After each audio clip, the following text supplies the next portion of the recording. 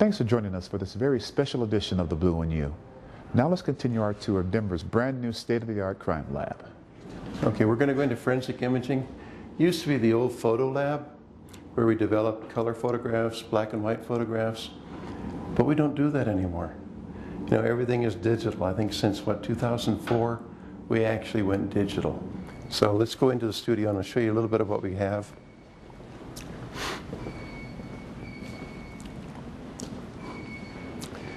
Again, this is all done in number 12 gray. I guess it's supposed to be the uh, photographer's dream.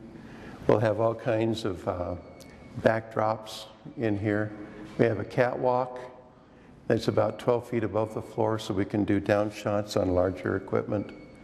Dressing room for victim and suspect. In addition, we also have an entrance. As we, uh, this, this lab will be a closed down facility.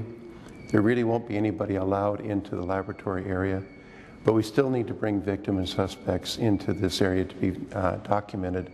So we have a, we have a door on the to goes to the exterior of the building. It's a one-way door, and these people are escorted in by police officers, have their uh, pictures taken, and then they're escorted out. So we don't have to worry about building integrity, that type of thing. We're on the second floor now, and for the most part, DNA occupies uh, the analytical side of the second floor. What I'd like to show you right now is what we call forensic biology. And basically, they're the ones that are going to be searching our evidence, or our uh, evidence for um, particles. And they could be uh, blood particles, or semen, or uh, saliva. They could be hairs, they could be fibers, they could be anything. But that's what we're going to be searching for. So let me show you how they do that. When we were looking in the instrumentation room of the old lab, and you were looking at chemists that were doing some organic work, and if you looked to the north of them, we had a, a table where people were searching evidence. In this building, we have four different rooms that are designed for uh, specific areas of, of inspection. This room is going to be used for small item inspection. And generally, most of our stuff that's coming in here is going to be small item. That'd be, you know, the, the individual clothing or the guns or the knives or shoes or whatever the case might be will be looked at in this room. Again, we're, we've got articulated search lamps. This is going to make their job a lot easier. Um, these are basically a dental type uh, format, but they're, they're all articulated. They can move at various places that we want them to anywhere that we need them, they can move to it. So we've kind of designed that into this, this format. Down a little bit further, again, notice the light too while, they, while you're doing it. And notice the space. Remember I promised you that this, is, this was going to be the format is space. So instead of that one little table in the, in the instrument room, we've now got five separate rooms. We have a need to look at evidence with various different wavelengths of light. So we have a room that we can black out and look at evidence under a dark and then illuminated condition.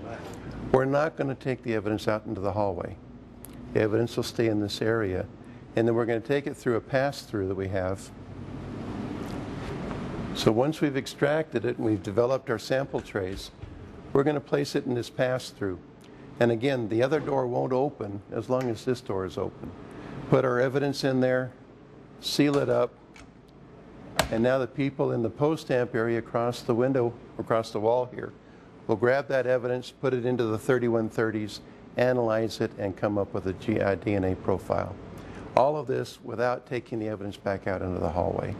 Therefore, we were avoiding contamination, we're speeding up the process, we're eliminating bottlenecks, and again, efficiency is going to be increased at this point. You remember the lunchroom, but the lunchroom itself is, uh, has grown. Most of us, we don't go to restaurants, we don't have time. You know, we're, we're working at our benches, so most of us brown bag it. And this is an opportunity for folks to come together. So, again, notice, notice the light space in here. This is open. This is good stuff. You're watching The Blue and You on Denver's Channel 8.